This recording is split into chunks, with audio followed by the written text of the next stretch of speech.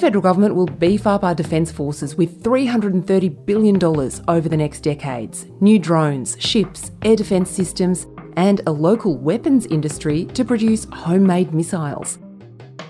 In today's episode, why the government is planning to recruit Kiwis and Pacific Islanders to fight for Australia, and why some critics say this all still leaves Australia vulnerable.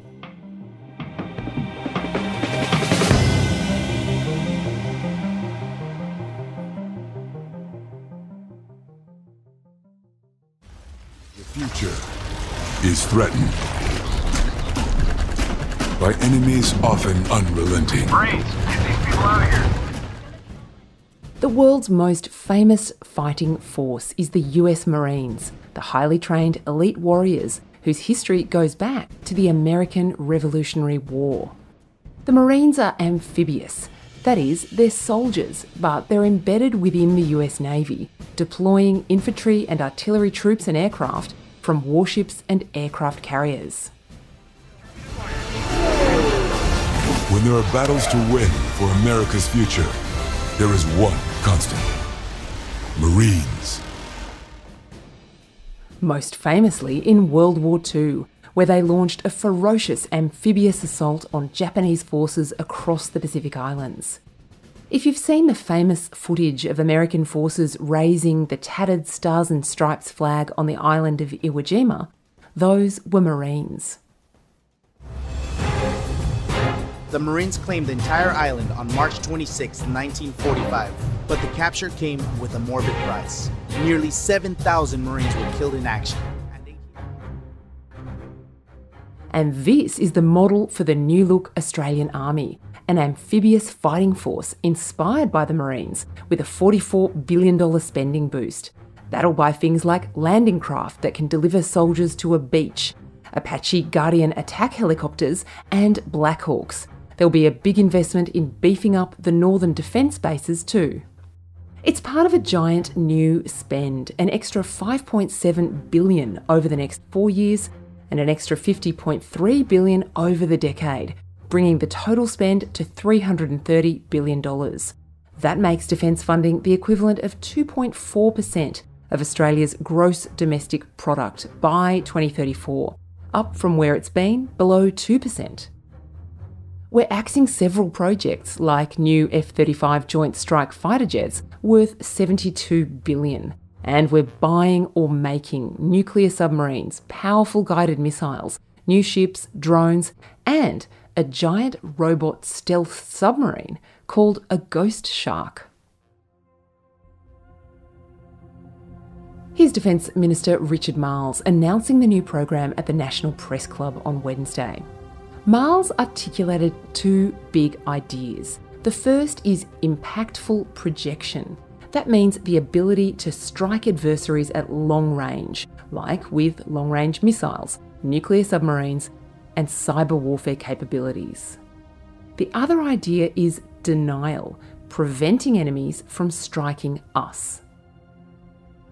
The optimistic assumptions that guided defence planning after the end of the Cold War are long gone.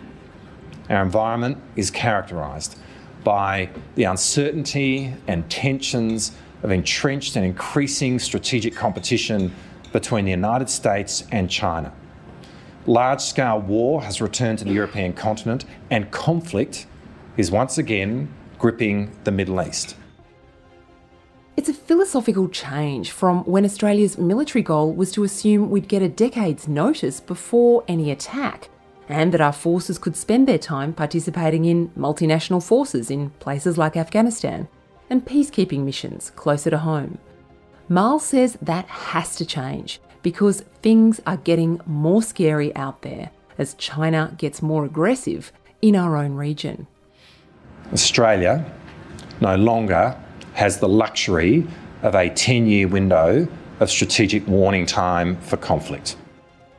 In the Middle East, Iranian backed Houthi rebels are attacking ships bringing goods to and from Australia with drones and helicopters in the Red Sea. Something that has dramatically slowed down the shipping of everything from fuel oil to food. And China is increasingly aggressive in the South China Sea, threatening any warship or aircraft that dares to enter what it considers its territory. Richard Marles says the threat to those sea lanes, both near and far, is Australia's greatest problem, much greater than anyone trying to invade Australia itself. An invasion of Australia is an unlikely prospect in any scenario, precisely because so much damage can be done to our country by an adversary without ever having to step foot on Australian soil. Ben Packham is the Australian's Foreign Affairs and Defence correspondent. So, Ben, what's different about the Defence Force Richard Marles is creating? The new defence strategy makes the point that in the last 12 months, the strategic circumstances have worsened and that China's behaviour is becoming increasingly coercive, especially in the South China Sea. Basically, the big expense going forward is the Navy, up to $76 billion over the decade on nuclear submarines and up to 69 billion on surface ships. There's also new money for missiles, drones. There's money to improve the Army's ability to conduct amphibious operations, bringing the Defence Force and the Defence Force's sort of forward planning up to speed with the current threat environment and cutting off a whole lot of things which weren't relevant anymore. Then recruitment is one of the big problems this strategy has to fix. We have a shortfall of 4,500 personnel. The government says it's considering recruiting New Zealanders and even people from the Pacific. Would that mean offering these people citizenship to fight for us? I think it would be as part of a pathway to citizenship. This is something that's been sort of thrown around for the last couple of years because basically Australians don't want to join the Defence Force in big enough numbers. And Richard Marles points out the Gurkhas have a long and impressive history serving for the British Armed Forces. Look, this is something that could work really well. I'm not sure whether you're going to get a whole lot more Kiwis coming into the Defence Force because they can live in Australia anyway. But I think it could be potentially quite an attractive proposition for many Pacific Islanders. Should make the Defence Force football teams more impressive as well, I'd say. It, it, it, look, it certainly would. It certainly would. Coming up, there's a global missile shortage, and our solution is to make them here. But how? Our subscribers get deep analysis of defence policy and all the big scoops. Join us by subscribing at theaustralian.com.au, and we'll be back after this break.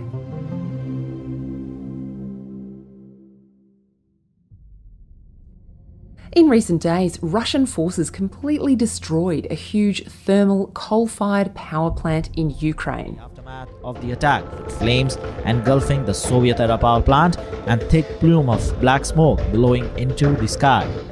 President Volodymyr Zelensky said Ukraine didn't have enough missiles to shoot the Russian attack out of the sky. The Trypilska power plant. Electricity in the Kiev region depends on it. 11 missiles were headed towards it. The first seven we took down. Four destroyed Trypilska. Why? Because we had zero missiles. We ran out of all missiles. Ukraine is begging its allies for more, but missiles are in short supply and high demand around the world. The US Navy recently said it fired more than 80 Tomahawk cruise missiles in just one day against those Houthi rebels attacking shipping in the Red Sea. That's why Australia's going to make our own, with a $21 billion spend over the next decade.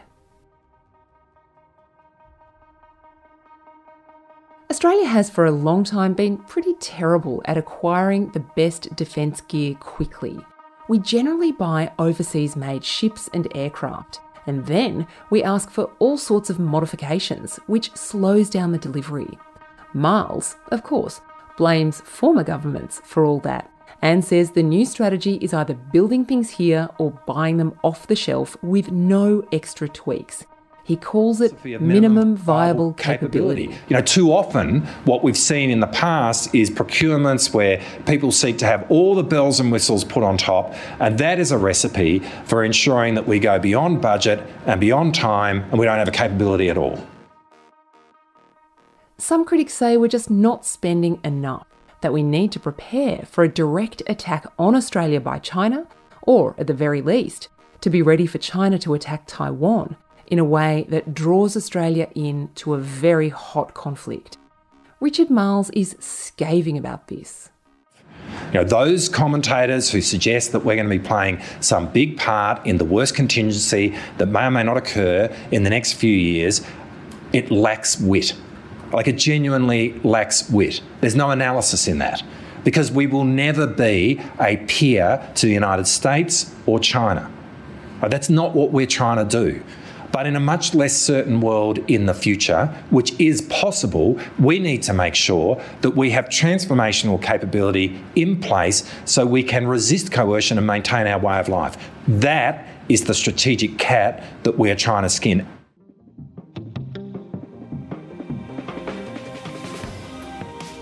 Thanks for joining us on The Front. We'll be back tomorrow. In the meantime, get all the nation's best journalism anytime by subscribing at theaustralian.com.au.